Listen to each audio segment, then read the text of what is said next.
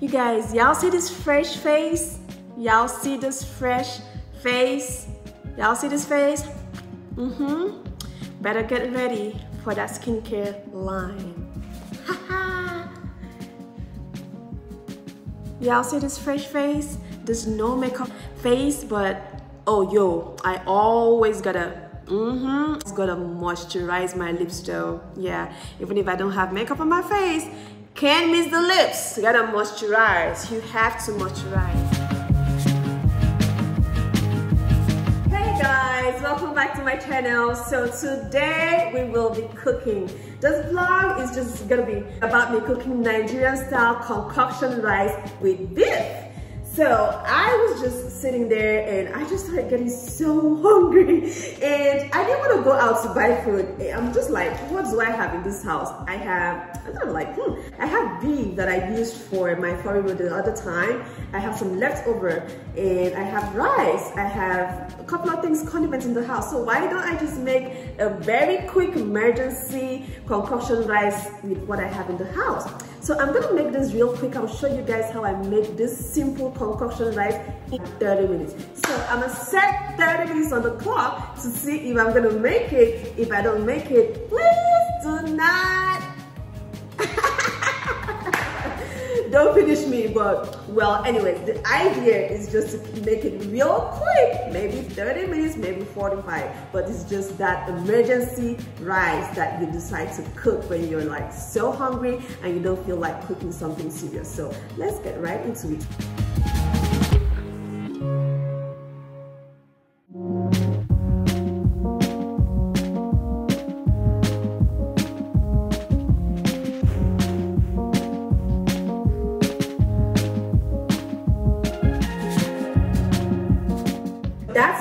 condiments that we're to use. We're keeping it real simple and tasty.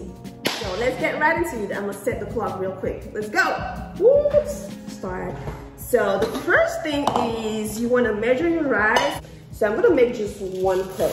This really depends on how much beef sauce you have. So I've used my eyes to look and see that I don't have a lot of beef sauce. What I have is just for about a cup. So pour in my rice. Since it's a cup, I'm also gonna use about a cup of water to parboil it. The thing is, typically, for this, some people usually have like, some people usually have rice, already parboiled rice that they have in the fridge. That would be so cool because it will make your work pretty faster.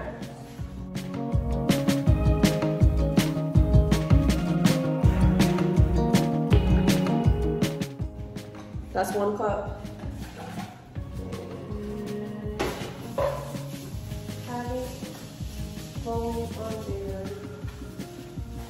I'm covering. Okay. All right. So while my rice is parboiling, I'll start cutting this up. Typically, you can blend this pepper, but I just like cutting it because I want to feel the pepper I want to feel that spice. And honestly, if you're someone that you can't touch pepper, because some people can't touch pepper, it's really like, it's, ooh, your hand burns, but I can touch pepper and it, my hand wouldn't burn like that, so. Chop it up, chop it up, chop it up, chop it up, chop it up, chop it up, chop it up, chop it up, chop it up, chop it up, chop it up, chop it up, chop it up. All right, woo, Lord, it's already four minutes. Okay, guys, this is not gonna be 30 minutes. I'm sorry. Chop the onions as well. You wanna keep your eye on your rice because you don't want it to boil too much. So I'm gonna chop up my onions. I usually like my onions in cubes. That's just my style. You can cut this anyhow you wanna cut it, it works. So we have our onions, look, we have our onions chopped. If You're not using crayfish. You gotta be sure that you seasoned the hell out of your protein, whether it's beef or um, whether it's beef or goat meat, anything that you use. If you don't want to use crayfish, you have to have seasoned the hell out of it. For the rice, you see how long we cooked it? I'm gonna wash my rice. I like to wash the bottom and and wash it. So I'm gonna rinse my rice out right now.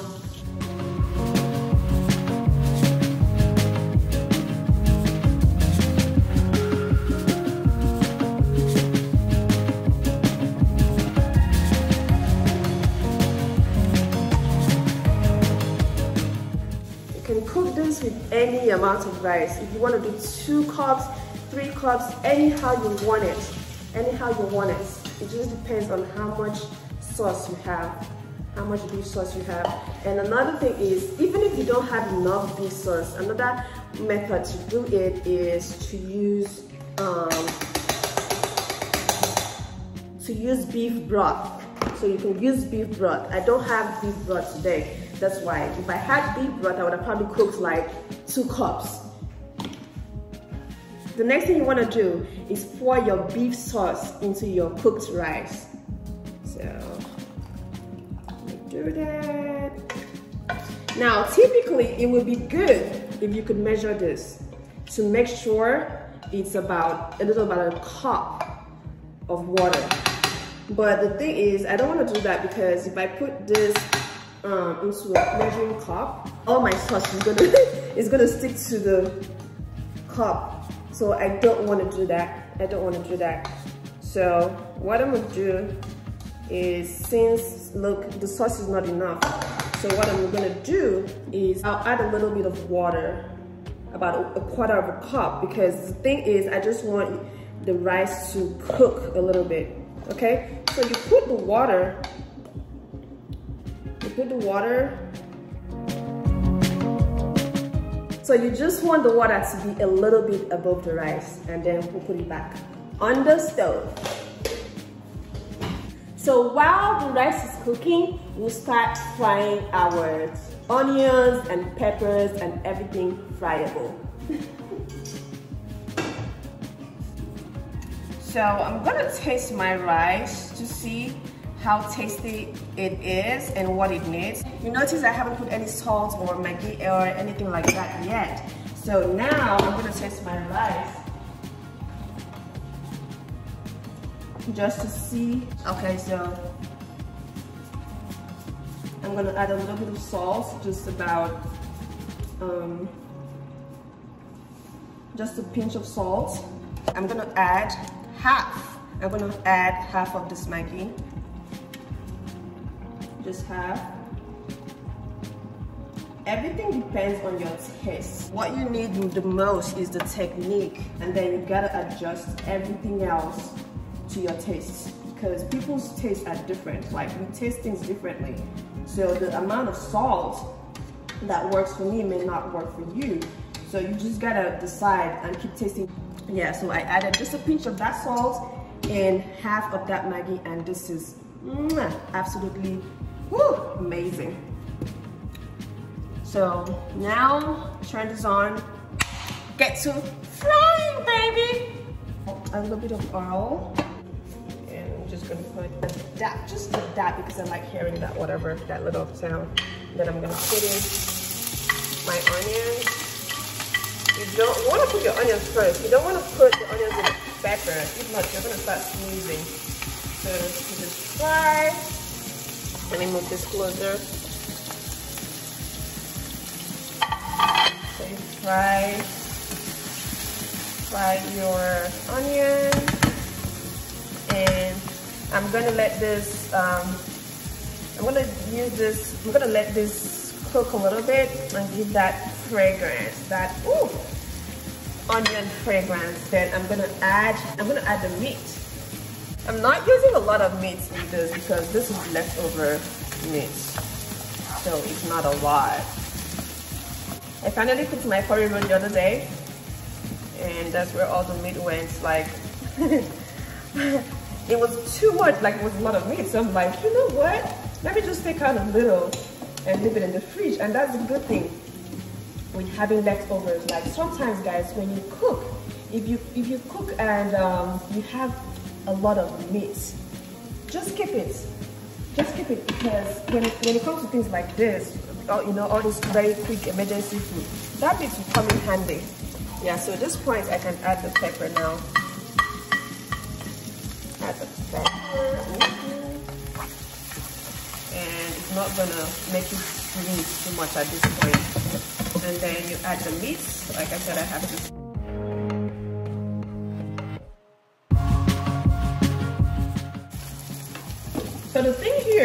Is I don't want my rice to cook too much. I don't want my rice to overcook because when I put it in here, I'm gonna let it cook for a longer time. The thing with rice is, this is done actually. Because the thing with, um, the main thing with rice is you don't want it to be overcooked. And rice cooks with heat.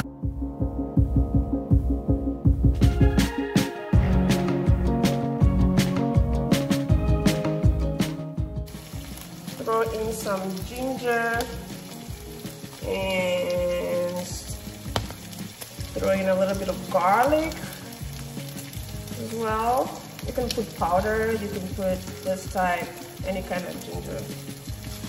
You don't want it. Any kind is fine.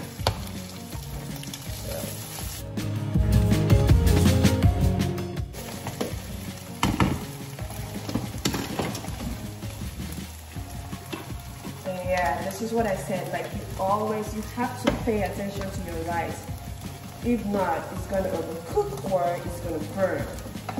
So this is, this is not too cooked, this is good. It's almost done, so I've turned down my heat a lot, like turned it almost to low completely because I don't want it to burn. And it is time so now you pour the rice into the onions that you fried.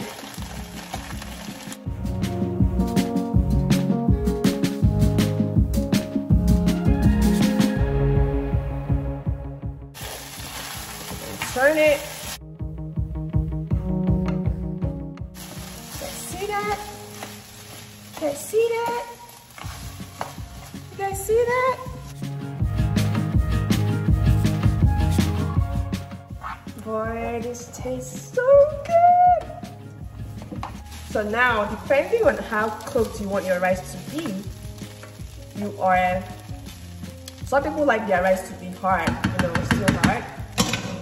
But I like mine to be somewhere in between. So you know what I'm gonna do? Um, I'm gonna turn, I turn my stove into between three and low. You could even leave it completely at low. And then you cover it. Depending on how you want this, you can just cover this with a foil. Poke some holes in, in your foil because you don't want it to be soggy. I have my rice on the fire, it's getting soft and it's just steaming and I'm gonna just let it sit for a while. Guys, so we're literally 30 minutes in. So this rice is done. This rice actually is done. Okay, so at this point, you can eat. But I'm just gonna let it cook a little bit. And honestly, you can actually add basil to it. When you add basil, it gives it a whole different flavor. Like it is amazing. The only reason I'm not gonna add basil to mine is because I looked at this basil and it, it doesn't look fresh anymore.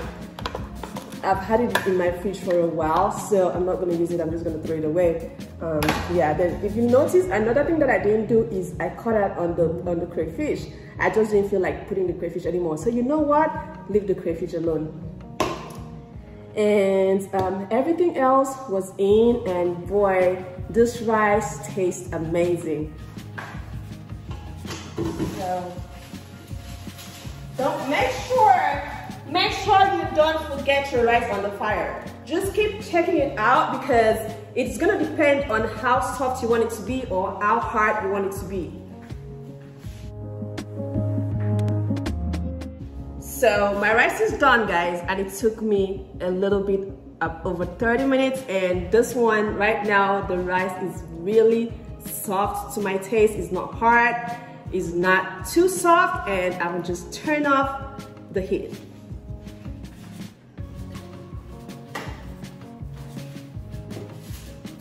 Turn off my heat, everything is done and that is it. That is it, guys. That is it. It tastes amazing. You can see the pepper. So you just know how spicy this is. It is very spicy and it is so tasty. It is so tasty, guys. It's tasty, it's spicy, and boy, my nose is already, my nose is already like, hmm. that is how I make my Nigerian concoction rice with beef, guys, in about 30 minutes from start to finish. That's how you do it. That is the end of my cooking vlog and I will see y'all in my next vlog. Bye.